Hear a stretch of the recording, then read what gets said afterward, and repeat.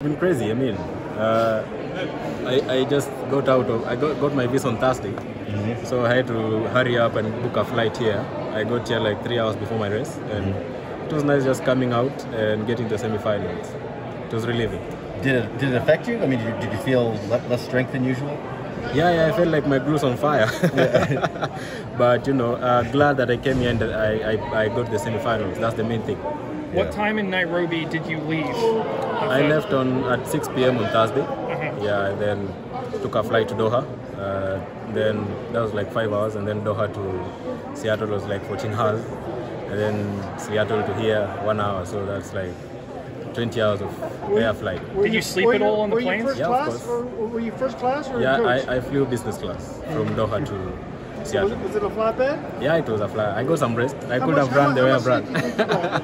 I slept for around nine hours in the 14-hour flight, so that was enough for me. And when you were in the airport, did you do any exercises or anything to stay loose in the Nah, layovers? nah, nah, nah. Because I couldn't do it in Doha because I had another 14-hour flight. Mm-hmm. So I was just doing some stretches on the plane and hoping that my body stays in check. And did you sleep did you- well? Oh, go ahead. Sorry. At what point did you start the process, or did the federation start the process of getting your visa? We applied for visas, the whole team, on Thursday the other week, and Thursday? everybody got their visa on Friday. So mine was held back.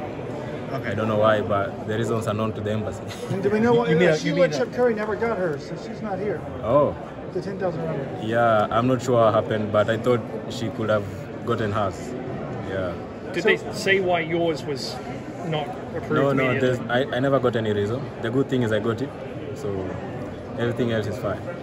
Are are you? Is it, is it troubling to you that you know an athlete of your stature has to go through something like that just to come compete? Yeah, yeah it's, it's really disappointing, and I hope they do better next time Yeah. because I know they're, under, they're handling, they're hosting the Olympics in 2028. So mm. I really hope they learn from this and do it better, much better next time. You seem very relaxed about things. And I saw that someone sent me a picture when you landed in Eugene. instead of running here, you even talked to the media there. Like, Yeah, you know, in life you have you, you can't force issues. You can't. I learned that you have to relax in every situation so that things can work out. So that really helped.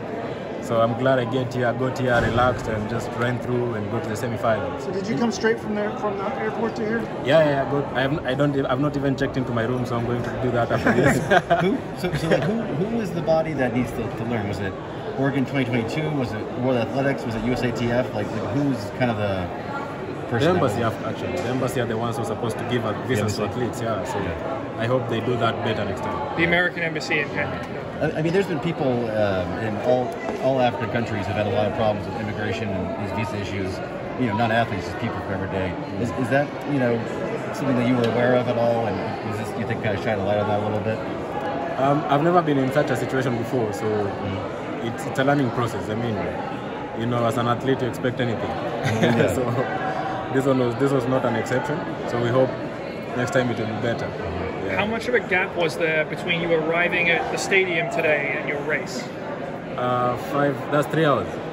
Three hours. Yeah. Okay, but you, so you were here three hours before your race at yeah the five, stadium. Yeah, five. Oh, okay. As a as a medal contender, how do you rebound from this and make sure that tomorrow you're not thinking about the Yeah. travel anymore? The main thing is that I'm here. That's the positive thing about it. So it's just to focus on the semi-finals, get some rest, and then see what happens tomorrow. What did you think of the other guys in the 100 today? There were some fast times. Yeah, they were crazy fast times, and yeah, it's, it's a very competitive event. So we hope tomorrow I'll get I'll up my game.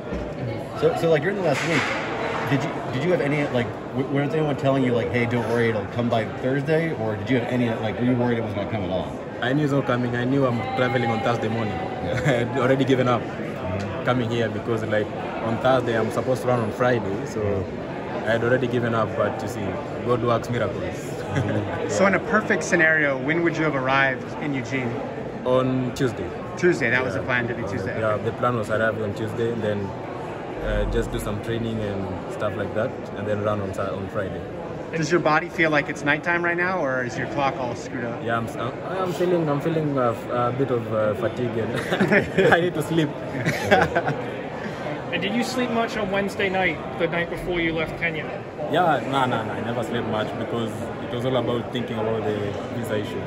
And you see your phone is ringing and buzzing like every hour because everybody's calling and asking what's up. So never got much of sleep. And you, you said that you, you flew from Nairobi. Do you, do you live in Nairobi or do you Yeah, live? yeah, I live in Nairobi. What's the bracelet? The nine. Oh, this one. This one is my season best, 985, and then this is my personal best, 977. I hope I break this. Get a new bracelet before you leave. Yeah, I hope it. I, if I break it, I'll remove and throw it on track. You beat Fred Kerley before. Can you do it again? Uh, I hope so. He's proven to be in good shape, so I hope tomorrow will be better. What is it about, like, what, what has Fred done the past year in your mind that's made him kind of ascend as he has?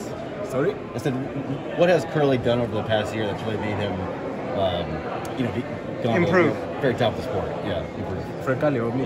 Fred, Fred Kerley. Like, Uh, when you I'm- watch him. I'm not sure. yeah. Well, you've had an unbelievable two years of improvement. What have you done? Um, uh, let's say COVID was a blessing in disguise because we trained like seven months without any competition. So that was a big help. Do you ever play rugby anymore? No, I mean just miss it. I miss rugby. Thank you. Thank you so much for your time. Thank Really you. appreciate it.